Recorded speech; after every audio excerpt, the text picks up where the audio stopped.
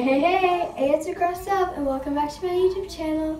Today, we are, I'm going to be showing you my Friday night routines every night. So let's get started.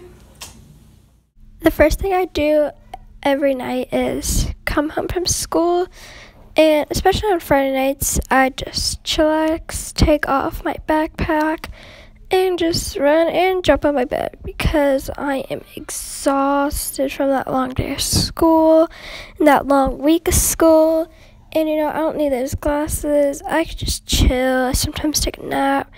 And then I drink hot chocolate. And now I'm live on Instagram. So that's fun. Yeah.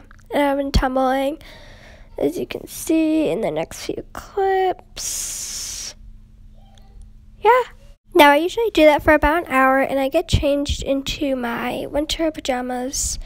And now I'm putting my hair into a bun. So basically, my hairstyle, so how I do it is I take my hair, put it in a high ponytail, and I tease it. And now I'm getting ice cream. And now I'm going to do a magic trick. So all I've been putting in my bowl is ice cream, as you can see. Now I'm, oh crap. um, um, no, wait, what? Wow. Um, yeah, so got ice cream. That's it. Thanks for watching this week's video. Please subscribe, like this video, and comment down below red and white emojis. See you guys next week. Bye bye bye.